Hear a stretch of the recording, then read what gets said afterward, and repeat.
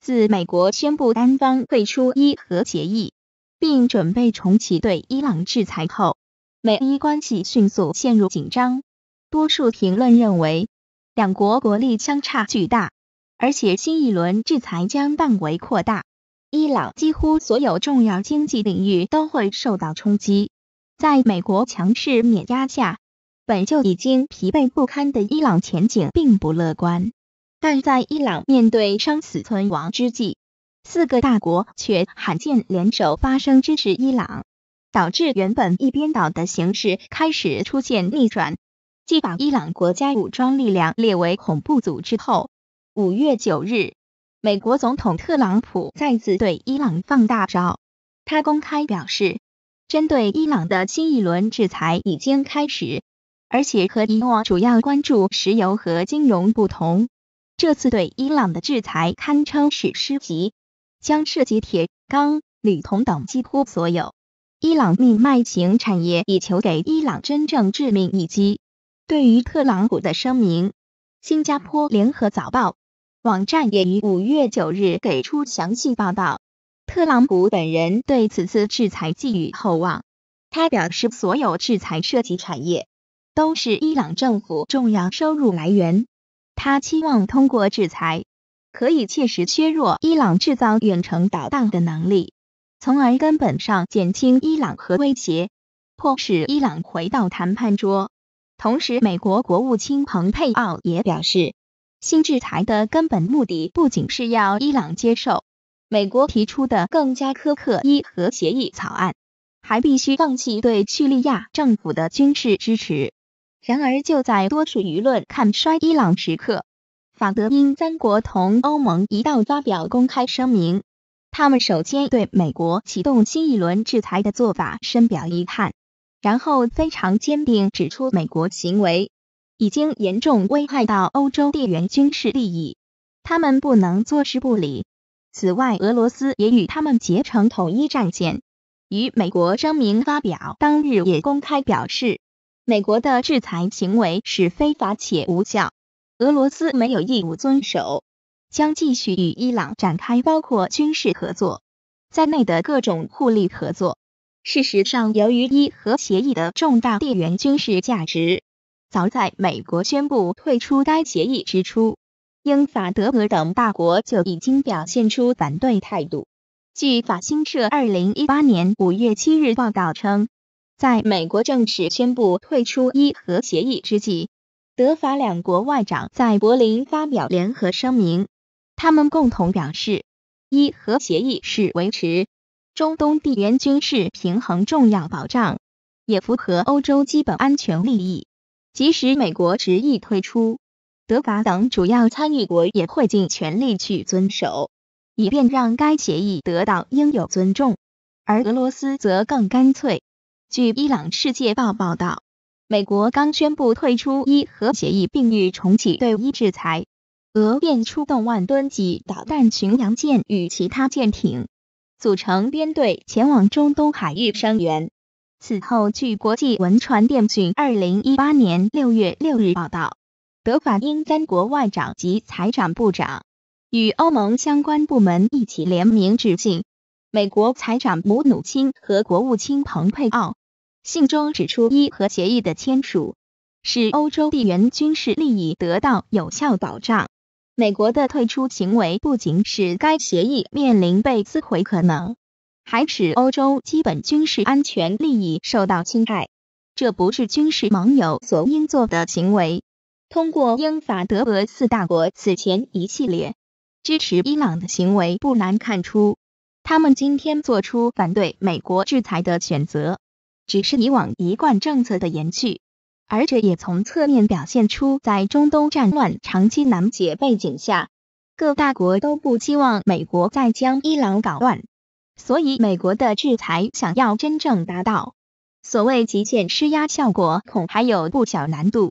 美国与伊朗的矛盾由来已久，奥巴马签署伊核协议后，两国关系有所缓和。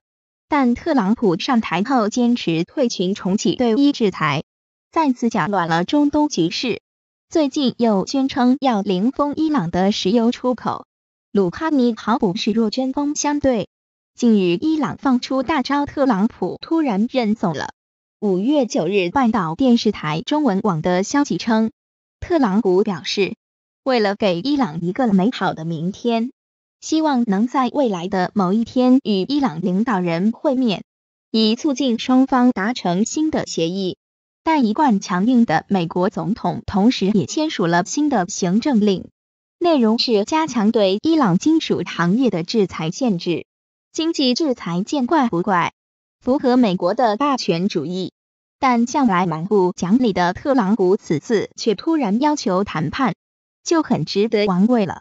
不过这也并不是空穴来风，完全是在伊朗运筹帷幄下伏的。五月八日，半岛电视台中文网的消息，鲁哈尼在国家电视台发表的广播讲话中表示，如果伊核协议中的世界大国不遵守规定，伊朗将恢复油水平，提高浓缩铀的等级。国家电视台 IRIB 透露，鲁哈尼在致伊核协议签约国的信中，要求英法等剩余五国在六十天采取措施。保护伊朗的银行部门和石油产业免受美国的经济制裁，否则伊朗将取消浓缩铀活动的上限。伊朗这话并不是唬人。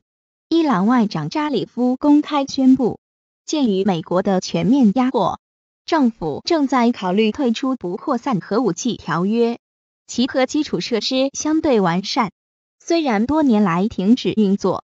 但在短时间内，伊斯兰卫队完全有能力重启浓缩铀活动。而一旦鲁哈尼开动核计划，此前国际社会唯一核问题做出的一切努力将付之东流。近期美军航母打击群和战略轰炸机咄咄逼人，相对弱小的伊朗底牌并不多。此次亮出了核武器这张王牌，伊朗是导弹大国。目前的常规导弹足以打击邻近各国。二零一八年十二月，伊斯兰卫队又新研制了一款弹道导弹，式其射程完全覆盖中东。倘若被逼急的伊朗加速核武器的研发，为导弹加上核弹头，将标志着潘多拉魔盒的打开。包括美军基地在内的中东各国，都将在伊朗的核威胁下。这个局面也是美国政府一步一步臭棋走出来的。局势一旦失控，全世界也会受到波及。特朗普势必成为千古罪人，被钉在历史的耻辱柱上。鲁哈尼的强硬表态犹如一枚重磅炸弹，相信冲击波也传到了美国。特朗普或许是预见到了恐怖的局面，所以当即走了，立马喊话，希望与鲁哈尼坐下来谈。不过，伊朗政府接不接受是另说了。去年，鲁哈尼就曾连续九次拒绝了美国的谈判。二零一八年七月十九日的《纽约时报》称，伊朗总统办公室主任瓦埃吉表示，在二零一七年的联合国大会上，美国先后八次请求与总统鲁哈尼举行会晤，但都被伊朗拒绝。二零一八年七月三十一日。特朗普在跟意大利总理孔蒂交谈时，第九次表态期望无条件会晤鲁哈尼，同样无果而终。想退群就退群，想制裁就制裁，想和谈就和谈。美国政府未免太任性，伊朗绝不会惯着特朗普。伊朗方面始终要求只有坚持伊核协议才能谈。军方领导人贾法里则毫不留情表示。伊朗人不会批准政府与大魔鬼见面。强硬的伊朗公然打脸，特朗普也是自讨没趣。